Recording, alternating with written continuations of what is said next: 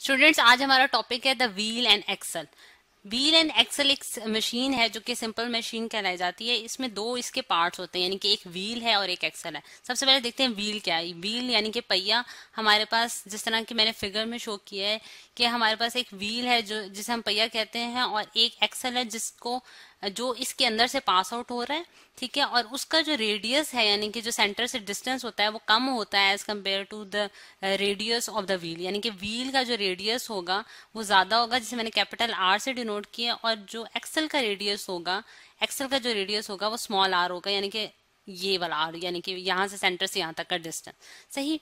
अब अगर हम देखें तो ये व्हील एंड एक्सल कैसे हम बनाते हैं कि एक रोप जो होता है, जिस तरह पुली के केस में हमने देखा था कि एक रोप जो है, वो उसमें ग्रूंड हुआ होता है ग्रूव्ड हुआ होता है, उसके अंदर से, यानी कि उसके ऊपर से मूव कर रहा होता है, और फिर उसके बाद वो एक्सल से मूव करके नीचे गिरता है। यानी कि एक तरफ़ फिर आप लोड अप्लाई करते हैं, जो आप लिफ्ट अप करना चाहते हैं जिससे आप, और दूसरी तरफ़ आप एफर्ट अप्लाई करते हैं, और एफर्ट को जैसे आप नीचे मतलब कि रोप को नीचे खींच जाते हैं एज तो एज अ रिज़ल्ट जो होता है, आपके पास जो लोड है, वो ऊपर की तरफ़ मूव करता जाता है। लेकिन अगर हम देखें तो इन दोनों, यानी कि एक्सल और व्हील का जो एक्सेस ऑफ़ रोटेशन है, यानी कि जिस एक्सेस के अराउंड वो बॉडी रोटेट कर रही है, जैसे व्हाइट पाइप से शो किया गया है, ये जो पाइप है, यानी कि ये एक्सेस ऑफ़ रोटेशन कहलाता है। यहाँ मैं लिख देती हूँ axis axis axis of rotation कहलाता है। हमारे पास एक्सेस ऑफ़ रोटेशन ठीक है? यानी कि जिस एक्सिस के अराउंड रोटेशन हो रही है, दोनों व्हील्स की, यानी कि एक्सल की भी और व्हील की भी जो रोटेशन हो रही है, वो इस एक्सिस वाइट पाइप के अराउंड हो रही है। सही?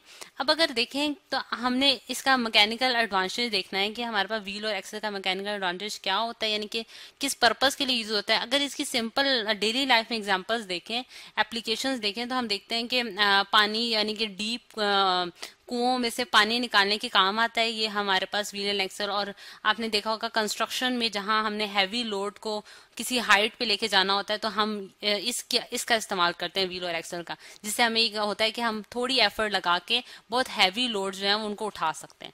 सही? अब अगर हम देखें कि हम आइडियल केस में, अगर हम देखें व्हील और एक्सल के केस में तो हम कहते हैं कि हम फ्रिक्शनल फोर्सेस को निग्लेक्ट कर दें अगर तो हमारे पास उस केस में हमारे पास जो इनपुट होगी, यानी कि जो हम मशीन पे काम कर रहे हैं इनपुट जो है वो आउटपुट के बराबर होगी।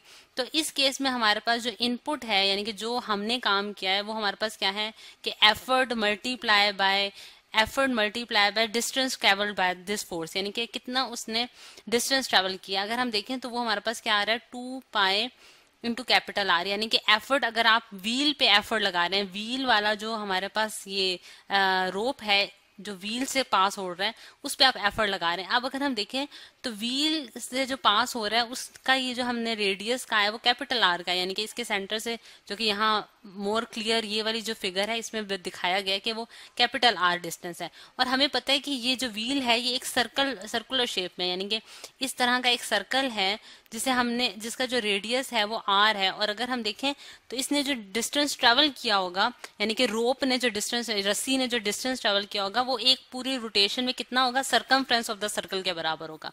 किसके बराबर होगा? सरकम ऑफ़ द सर्कल के।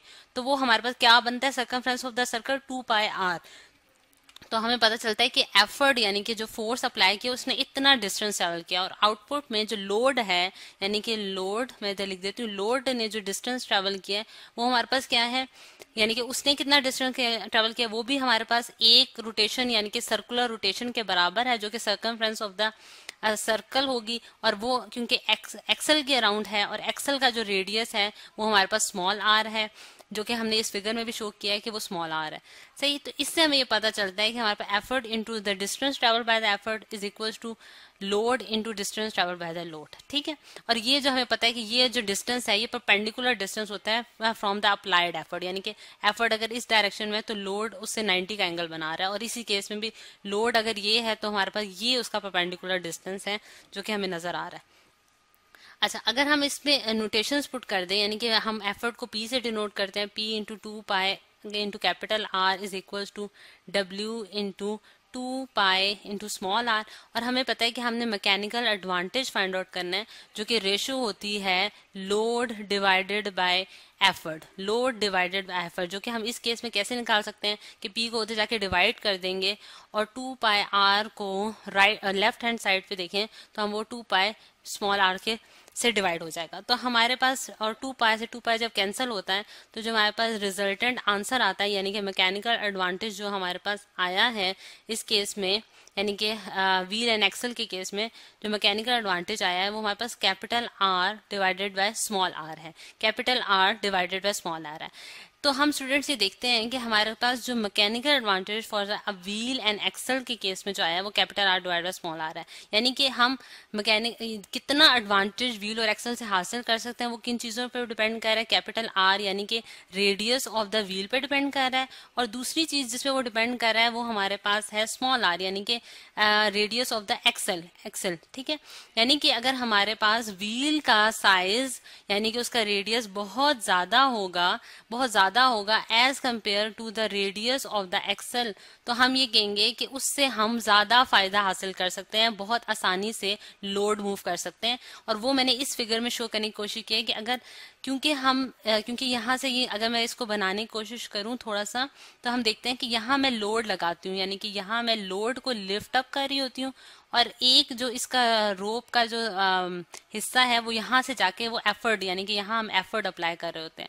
क्या अप्लाई कर रहे होते हैं? एफर्ट अप्लाई कर रहे होते हैं। तो मैं एफर्ट जो है वो लार्ज डिस्टेंस ट्रेवल करेगा क्योंकि रेडियस का साइज़ बड़ा होगा और हमें स्मॉल एफर्ट लगानी पड़ेगी और एज अ रिज़ल्ट हमें क्या होगा कि वो जो रो, रोप जो है वो इस एक्सिस के अराउंड यानी कि एक्सल के अराउंड जो है वो स्मॉल डिस्टेंस ट्रेवल करेगा और एज अ रिज़ल्ट जो है हम लार्ज लोड को लिफ्ट अप कर जाएँगे। यानी कि बहुत ज़्यादा वज़न जो है वो हम आसानी से उठा सकेंगे बाय यूजिंग दिस व्हील और इसी तरह अगर हमारे पास अगर इन दोनों का डिफरेंस यानी कि आर और स्मॉल आर का डिफरेंस कम होगा तो फिर हमारे पास मैकेनिकल एडवांटेज कम आएगा। लेकिन जितना ज़्यादा आर की value as compare to small R ज़्यादा होगी, यानी कि आर की वैल्यू ज़्यादा होगी as compare to small R तो फिर हम ये देखते हैं कि उससे हम इस ऐसी मशीन से हम बहुत ज़्यादा फ़ायदा हासिल कर लेंगे। और हैवी लोड्स को लिफ्ट अप करना हमारे लिए बहुत आसान हो जाएगा। तो स्टूडेंट्स आज हमने ये देखा है कि हमारे पास व्हील एंड एक्सल क्या होता है और उसका मैकेनिकल एडवांटेज जो है वो कैसे हम निकाल सकते हैं और वो किन चीज़ों पर डिपेंडेंट है।